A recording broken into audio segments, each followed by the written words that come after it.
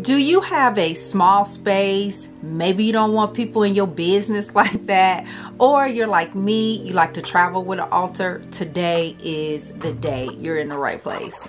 By the end of this video, you will have ideas for each and every single one of those options. Spirituality can be difficult sometimes, so if you want spiritual tips, esoteric or traditional, then go ahead and subscribe, like, comment, and uh, please hit the notification bell so you never miss a tip or a trick to be closer to the divine. As a part of my practice, I ask each one of my students and my clients to ensure that they have an altar because it is essential to your spiritual growth. Those who have took the time and did the follow through, they have communicated to me that the moment they set up the altar and begin connecting with it, that they experienced a connection and a feeling that they have never experienced before. They have also boasted of increased intuition and also an increased ability to hear spiritually.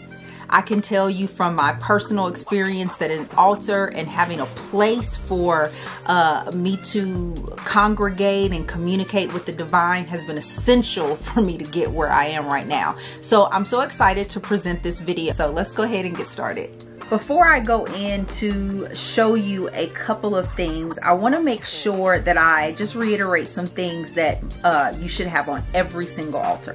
Number one, you should have some type of cloth, preferably white, but if it's not an ancestor altar, you can be a little bit more creative. You also want to make sure that you have some type of fire element. In most cases, this would be a candle.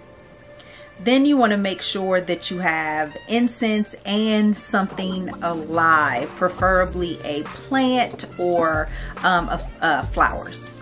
Anything you have on your altar past that is lagniappe, okay? For those of y'all who don't know that word, that's a Louisiana word. Uh, shout out to my voodoos, my Louisiana voodoos out there. Okay, dokily. All right, so let me first just quickly show you before I actually show you some altars, some little things that you can use. I am a box hound, so if uh, I see a box and it's real sturdy, it is going to get put up. So here's a little small one you can uh, throw stuff into. Um, I love this one. It came with uh, some of my oils. I love it has a little snap uh, magnet here and that helps you when you travel to keep all your stuff in there. So this is a nice little box. No way I was throwing that away. Plus if you travel with your oils. Um, this is a little gift uh, tin set that someone gave me. So that's great. In here, I have um, a sigil that I, I work with. I have candles here, uh, bath salts, and of course, you always want to make sure that you have a lid. So, and of course, I don't travel with this one, so I just take this out when I need it and I'm doing that specific work. Obviously, the last box, pretty freaking simple. You can just put it uh, in here, um, put your altar in the bottom. All right, so why don't we uh, go ahead and look at some altars? This is one of my favorite examples, especially if you live in a small space. Um, also, this is another one if you don't want nobody in your business. This is a bread box. So I got this actually at the Goodwill. Really um, good wood. You can paint this if you wanted to.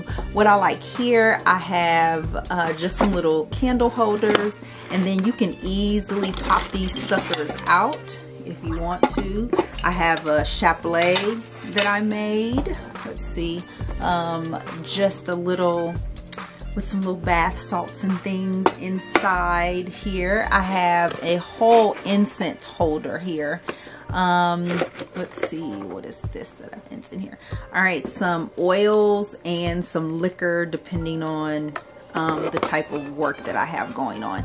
So yeah, this is a great altar for small spaces because you can put all sorts of things in here and then pull them out or you can make everything if you're not going to move it.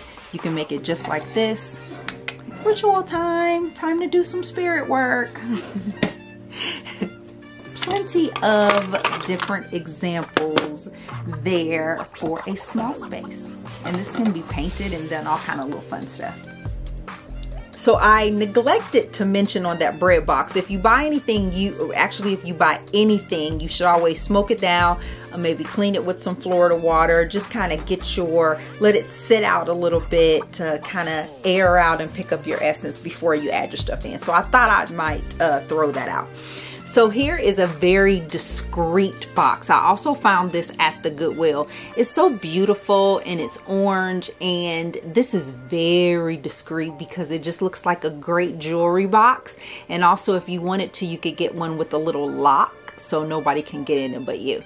So I pull this up, I leave this out on my dresser, and then I have some great things. So I have uh, some tarot cards if I want to use for prayer um, I have this little um, bowl, which I'm going to show you what I use for that. So freaking cool.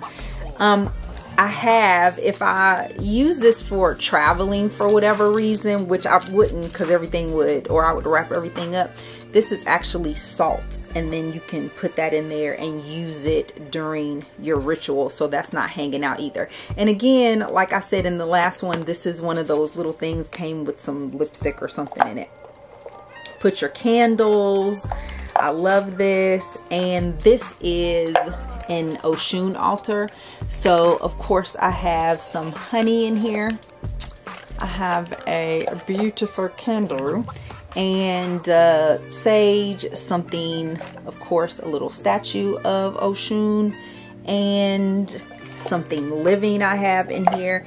And I love this as well. Ooh, um, this is actually some really tiny little roller balls. Yeah, a little tiny little roller ball and it has some oils that I made and I can still use that in prayer. Um, again, without having my stuff all out and open. You know, it depends on what it is.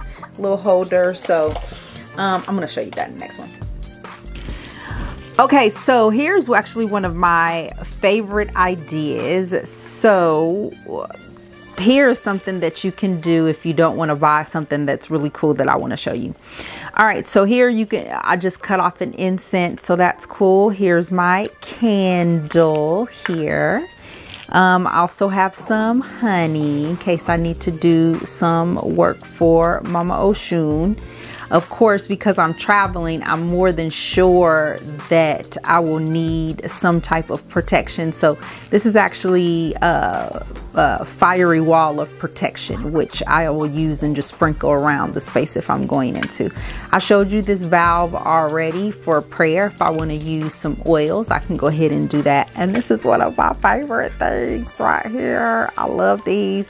I actually learned about these from another uh, YouTuber and I was like, oh, this is way better than actually um, just trying to cut down incense. So here, I love these. These are actually incense matches. And so you just light it. Never blow out fire, just so you know. And then you can set it right in your tin. And it will, oh, this smells so good, guys. This is cinnamon and I bought these on Amazon. If I made room or had a bigger tin, then I could take some herbs. Maybe I want to take a, a, herbal shower. Somebody's really messing with me and I need to take a herbal shower while I'm traveling.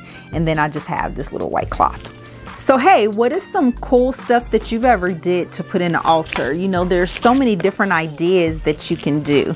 Um, also make sure you look at some of my other videos, talks about what you do at an altar, why you should set an altar up, and I also have some specific information about ancestor veneration. So you want to make sure that you look for that. Again, I have a guide that I've included um, of incense and candles so you can be able to do that. If you want to meet with me one-on-one, I have a COVID deal on all readings right now. You can get a reading for $75 through the end of January and that is a $50 savings. So you can't beat that. It's a bone or card reading, whichever you would like. Be sure to to check me out on any of my other social media platforms. Peace. Love y'all.